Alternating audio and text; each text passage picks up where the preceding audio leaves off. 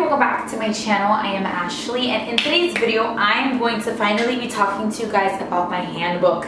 You guys have been asking me so so so many questions and requesting this video so I knew that I had to film this for you guys. I'm going to give you guys all of my policies. This video is going to be long. I know it. I'm trying to give you guys as much information. I'm not going to just put this video together sloppily and just give it to you guys. I want to make sure that it's a really good informative video so that's why it's super long. So this video is going to be helpful not only because I'm going over my policies but because this video is in collaboration with Julie and her channel is Learn to Play. The first video that I saw of Julie's was her in-home daycare tour and I was obsessed. Her house is beautiful. I want to say it's massive. It looks massive to me and she utilizes her space really well. So if you guys have a house and you guys don't know how to use your space, go ahead and check out her tours. She has different versions of her tours.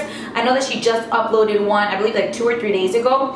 And there was an area that was before with like high chairs where they would eat. And then now she changed it. So you guys can kind of watch her videos and get like different versions so you guys can see different ways to utilize your space. If you guys want to see like little ideas, check out hers. I love her daycare and if I can take her house I would take her house. so Julie, thank you so much for reaching out to me. I'm really excited to be collaborating with you. And if you guys check out Julie's video, I'm gonna have it linked above so you guys can click it. But she's also going to be going over what is in her handbook. So we're gonna go ahead and get started. Again, if you guys wanna see more policies, go ahead and check out Julie's channel. So let's go ahead and get started. My handbook is given to the parents before they tour my daycare. And the reason why I give them a copy of this before they tour my daycare is because I want them to read this. And if there's anything in this book that they do not agree with, they don't need to be in my program. Now, I don't want to sound rude, but obviously there's a little bit of things that can be worked with, like my hours of operation are from 7.30 to 6. If they need me to 6.30 once a week, I can do it, so it's not like they can't be in my program, but majority of what's in here is what I feel comfortable with and what I feel works for me. So just know that your handbook is really important. It's better to include over information, like extra information, than to not include enough. So I encourage you guys to make sure that your handbook is really good and really efficient. So my first page has my hours of operation. So I'm gonna include screenshots of my handbook. If you guys wanna copy it word for word, do whatever you want. It does not bother me um, this has worked for me and it might work for you guys too so don't think that I'm gonna get mad if you guys copy my handbook word for word but again this is what works for me so the first thing that we have on my handbook is hours of operation so it says our hours of operation are from 7:30 a.m. to 6 o'clock p.m. Monday through Friday so that's standard that's what i have again if i had a parent that needed me till 6:30 once a week or whatever the case is i help them but there is an extra fee and i explain that to them obviously like beforehand but those are my hours of operation. So if they know that i close at 6 and they don't even text me that they're going to get there at 6:45 or at 7 o'clock i'm going to have a problem with it.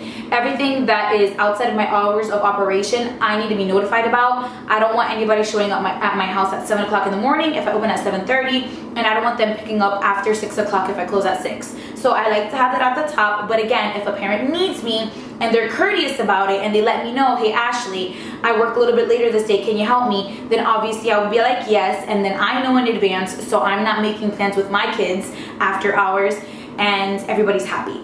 So just have your hours of operation on the top. After that, it says enrollment information and requirements we must receive the following information in order to begin the enrollment process. So the first thing that I have is an application and an application fee. And it says that the application must be submitted for each child attending blank. When you guys hear the word blank, it's because my business name is inserted. So you would just include either your business name or an acronym, whatever, but I have my business name. And then it says the application fee is $35 per family and is non-refundable and non-transferable. So if Jessica pays me $35 for her daughter to come and then she doesn't want her daughter to come anymore, her sister wants her daughter to come, her sister is gonna have to pay those $35. It's not transferable to anybody else. It says no exceptions and prices are subject to change. I never change my application fee, but I just put that there just in case. And then if I have three siblings enrolling, they only pay $35 for the application fee. I'm not gonna charge 35 for each application. I just, I just wouldn't. Then it says photo consent. So I do have a photo consent form that I sent to them. It's just so that I can use their pictures whenever I'm advertising. So if I'm on Facebook and I want to put a picture of the kids doing activity and say, I have spaces open for enrollment, and sometimes I'll use their picture. I have consent that I can use that photo. So photo consent is needed as well. And then it says certification of immunization records obtained from the child's physician and I want that within the first 30 days. And then it also says child's health examination form obtained from the child's physician within the first 30 days. So those two forms, they have 30 days to get it to me and I always let them know that so that they're not rushing or calling off of work just to get the form. I have 30 days to be able to get it and then they can go ahead and bring that into me. So it also says that parents are required to keep the provider informed on any changes in address, phone numbers, or other information listed on these forms. So if they move, you want to make sure that they're letting you guys know so you can update their application. If their phone number changes, you want to update it. If they want to add anybody on their emergency section of the application, you want them to let you know so that they can update it as well. And then it says the first two weeks that your child is attending blank are considered a trial period in order to determine whether your child is suitable for our program. This trial period may be extended for no longer than four weeks if we feel that the child is slowly adapting. I do trial days before enrollment. I keep the child for three hours before they enroll and I look at them, I observe them, I watch how they play with my other kids, if they have any habits, they eat with us, they do everything with us in those three hours. I normally schedule those trial hours in the morning because we do a lot in the morning so I can actually see the child in action.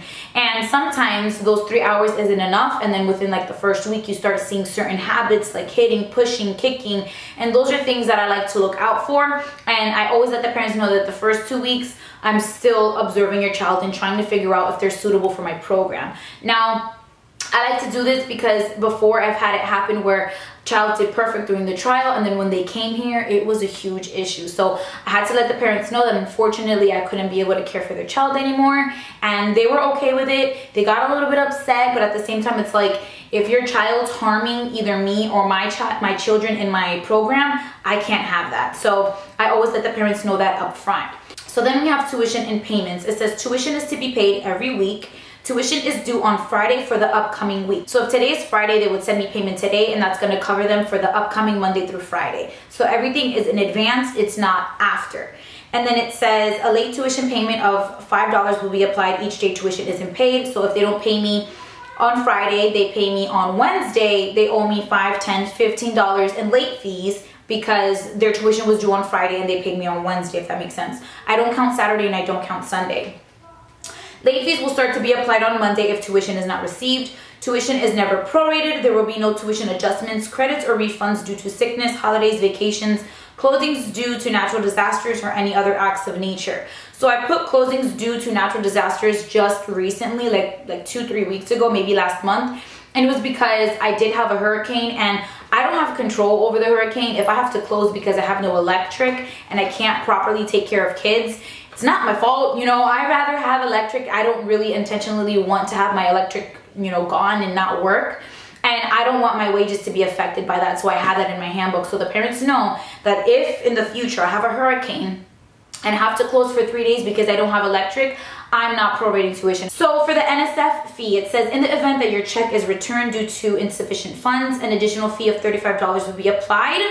Enrollment will be suspended until full tuition payment and additional fees have been paid in full. After two return checks, you will no longer be able to pay by check. Other form of payment accepted other forms of payment accepted are cash, cash app, or money order. So for absences, it says that we understand that there are times that your child will be absent due to illness, vacations, holidays, etc. We ask that you please notify blank if your child will be absent. Tuition will not be waived or prorated due to absences of any kind. If tuition is not paid for due to any type of absence, enrollment will be suspended and your child will not be able to attend our program until the balance is paid in full. So I like to have that in my handbook and the reason why I like to have that policy in my handbook is because let's say Jessica is off on Monday and she doesn't want to bring her daughter let's say she just she wanted to sleep in she didn't feel like driving all the way to my house to drop off her daughter and then she comes tuesday and she goes oh i'm not going to pay you for monday because she wasn't here and i don't think that i need to pay her for monday. Well guess what jessica? It's due. And the reason why i have that in there is because there are going to be parents that are going to think that it's not fair that they have to pay when the child isn't in attendance. If they don't want to pay i'm just going to say i'm sorry tuition is still due.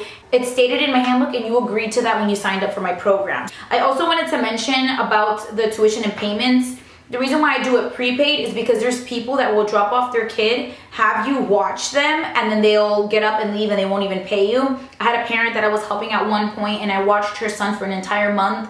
They were having financial issues and I wasn't paid for an entire month and then they got up and they left. So I had a huge balance that was left. I worked, I fed that child, I did activities with that child, so money was spent and it just bothers me because, you know, we put so much work and we give them so much love and attention and affection throughout the day and for the parent to just get up and leave, it's not fair to me as a provider. So I would never let a balance go over a week. If a parent hasn't paid me for a week and they're going on two weeks, I let them know that they can't come until that week is paid for. And it's not to be mean, it's not to be harsh, it's just to protect myself because it's literally the people that you least expect to do it that do it. After a week, if they do not pay me for a week and then they get up and leave, I'd rather have a week not paid that they didn't pay me than have a full month or more that they didn't pay me and then I'm out so much money if it makes sense. So make sure you guys are getting paid in advance.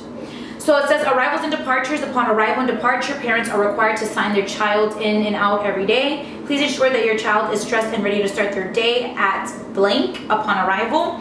We do not accept children after 9.30. Children are also required to remove shoes upon arrival. I have the parents sign their child in and out every single day. I have the binder set up. If you guys want to watch a video on my binder, I have that as well. And then it says that make sure that your child is dressed up. So sometimes people would bring their kids in their pajamas and then they ask me to change their kid.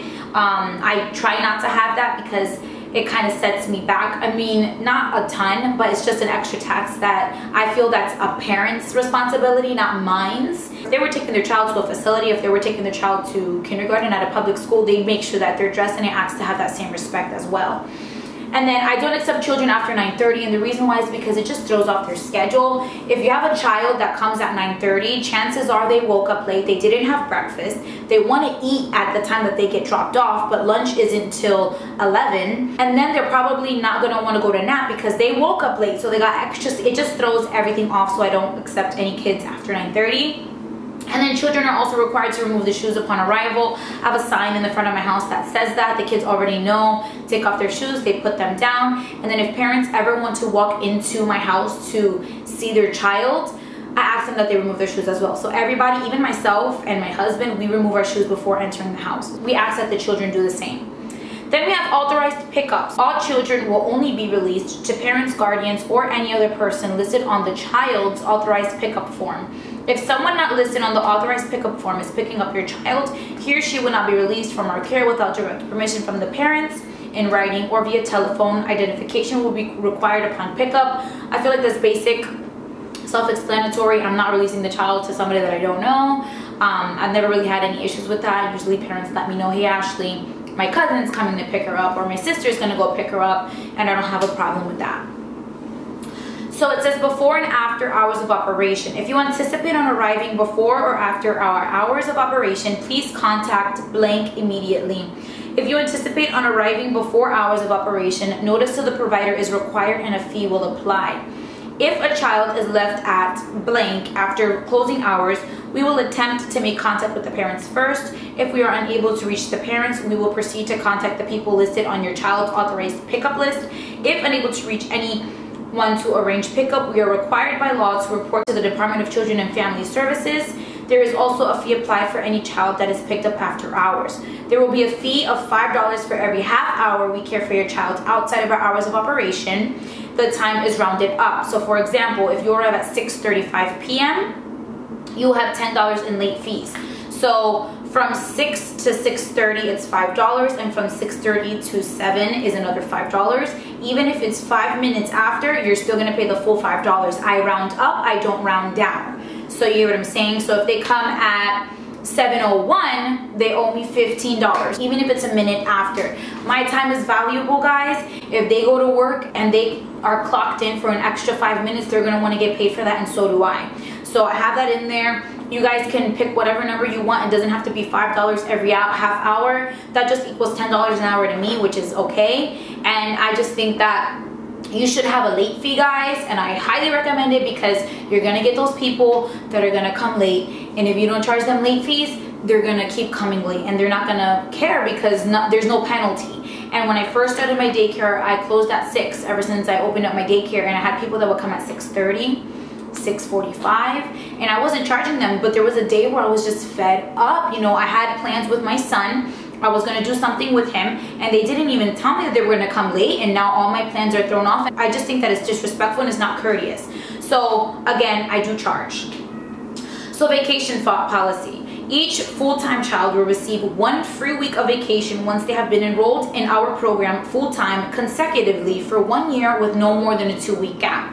I have parents that have, given birth and while they're on maternity leave, they pull their child out and then they go back to work. If they're out of my program for more than two weeks, you have to earn another free week of vacation starting from the day that you bring them back. So that's why I say with no week more than a two week gap. It says if you will be having a vacation prior to earning your free week of vacation, tuition is still due in full and should be paid in advance. So if you've had a student and they've only been with you for four months and they're about to take a vacation because they haven't met that full year they still have to pay for that week that they're not going to be here. Even if they don't even show up they still have to pay in full. That's me. If you guys wanted to do um, half of tuition because they're not going to be there so be it. You guys can do that. I had a, a parent at one point that every three months they were leaving the state. And then every three months, that's X amount of money that I was a little bit short because that child was absent every three months. And I was like, no, you get a week every single year and that's it because if not, they're gonna be taking vacations all the time. So it says daycare closings and holidays.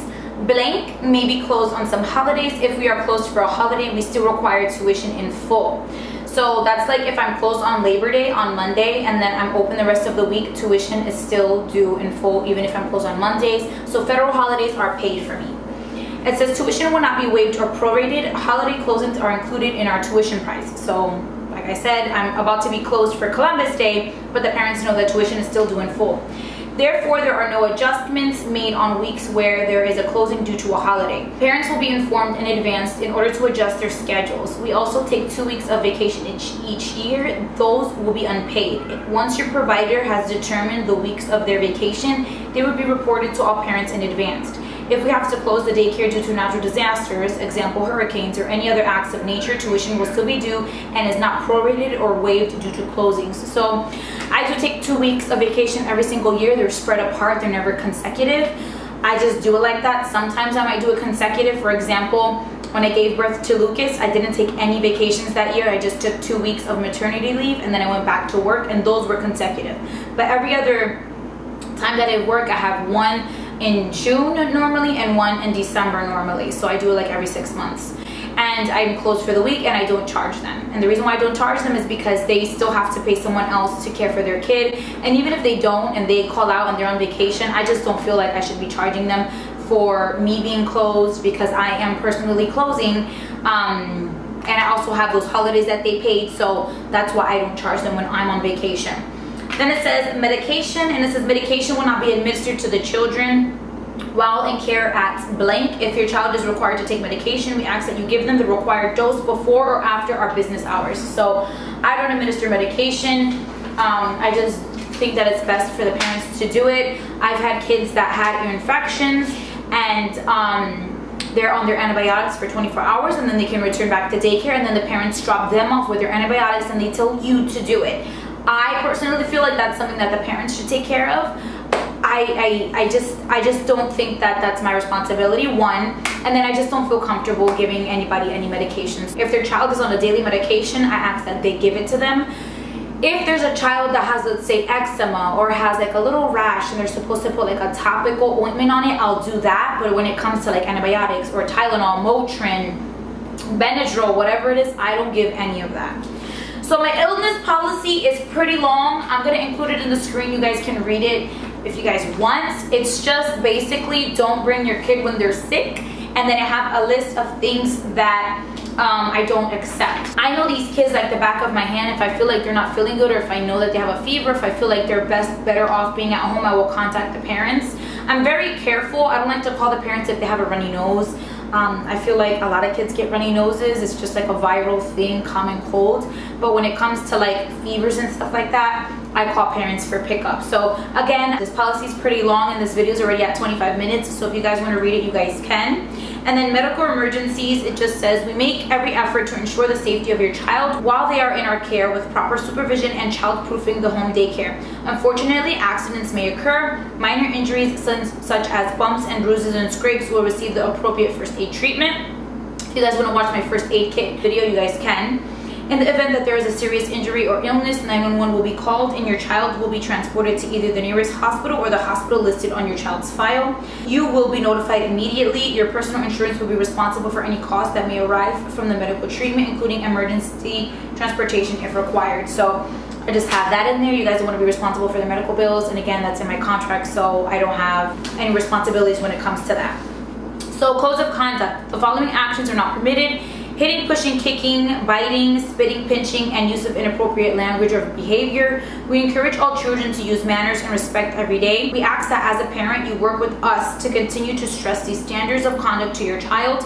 Our rules have been set to ensure the safety of all children and staff. These rules will be discussed and taught to all the children enrolled and will be expected to be followed. Repeat behavioral problems could result in termination. Respect of property and other children and staff is expected at all times. Willful destruction of property by any children will be charged to the parents. So again, if you have a child that's hitting, kicking, pushing, or causing any issues in your program, you're gonna wanna terminate them because not only are they doing something that they shouldn't do, but if, let's say Jason is the one that hits, fights, kicks, and everything, and Anthony is always getting hit by Jason and you gotta make an incident report and tell his mom, this parent of the child that's not doing anything wrong is gonna get up and leave because they don't want their child to be in harm's way, correct? And then after that child leaves, Jason's gonna find someone else to pick on and then next thing you know, you're gonna have no kids in your program. So I personally would terminate the child if they're doing any of those things repeatedly and they don't wanna respect you, if they're spitting or if they're kicking or whatever,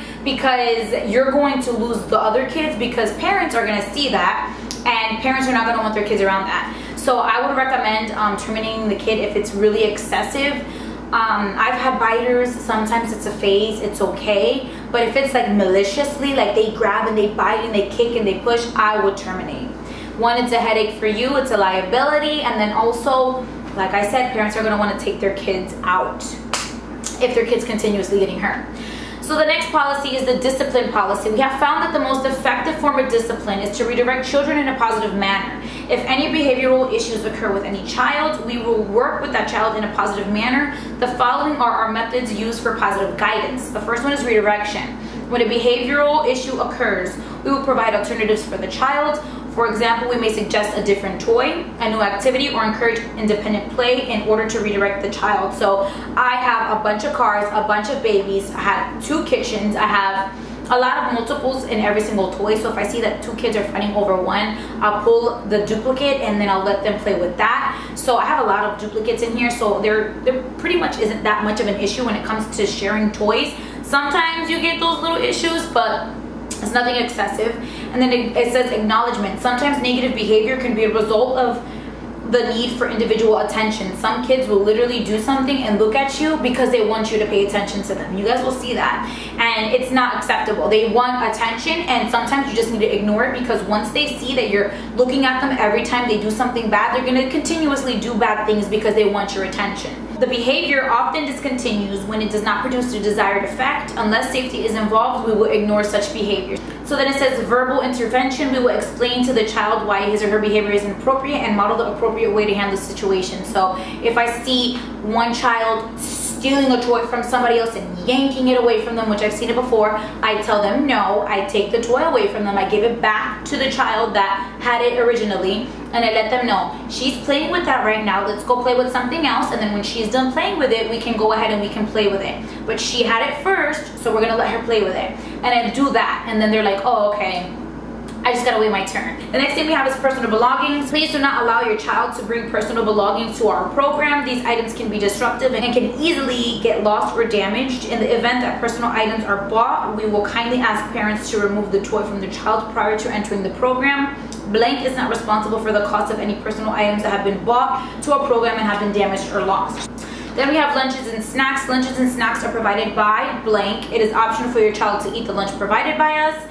You may choose to pack your child's lunch and snack if your child does not to choose to eat the provided lunch.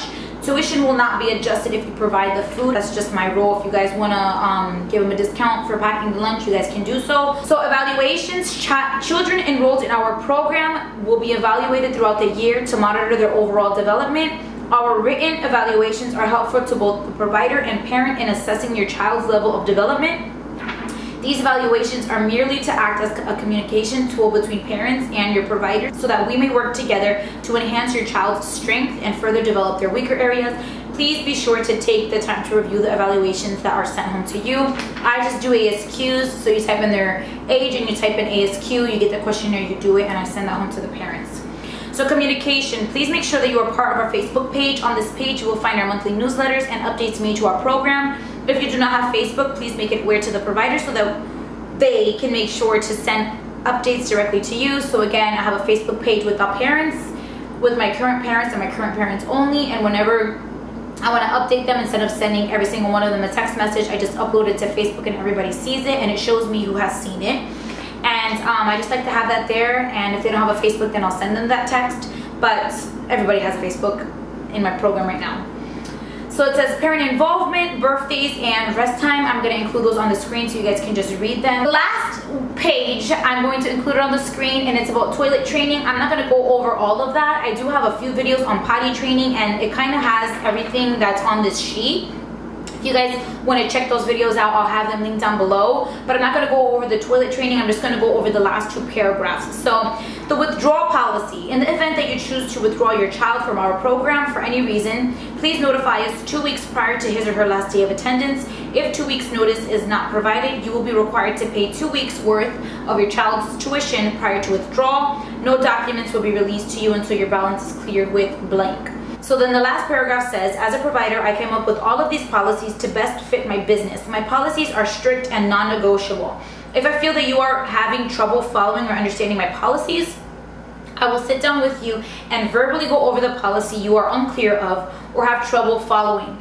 If I feel that you are still contesting and or violating my policies, your child's enrollment may be at risk for immediate termination depending on the circumstances. So if I feel that you're giving me a hard time and you're doing things that are stepping on my toes and you're taking vacations left and right and you don't want to pay for them and you're paying late all the time and you're always doing this or that or X or Y or Z and it's really affecting me, I'm to have a talk with you and we're to try and fix it. And if I see that we can't fix it, I'm to ask you to remove your child from my program. Um, I don't have any trouble terminating people. There are some providers that are shy to terminate people. I'm not. If I feel like it's not working, it's just not working and I'm sorry. but that's my handbook guys this video is really long but i wanted to film it to you guys because i think that this handbook does have a lot of good information in it again you guys can use my handbook for whatever you guys want and um, I don't mind. If you guys have any questions about anything, leave it down below. You can also check out my Instagram. I do check my Instagram often, so if you want to send me a private message versus a public comment, go ahead and do so and then I'll message you. That's basically my video. I hope you guys enjoyed it. Again, check out Julie's channel. Check out her handbook video. I'm pretty sure it's gonna have good information. Her program looks like it's structured very well. I see how the way that she has everything set up with the tables, they learn, they eat over here, and then I watched her day in the life where she's serving them their food. Like it looks like it's very structured, and I think that her handbook would probably be really, really, really good as well. So really check out Julie's channel. And Julie, again, thank you for reaching out. I'm really excited that we collaborated on this video. And I'm excited because this is my first collab on my vlog channel. And yeah, so thank you guys so much for watching my handbook video. Please subscribe to my channel if you guys have not already. And I will see you guys in my next video.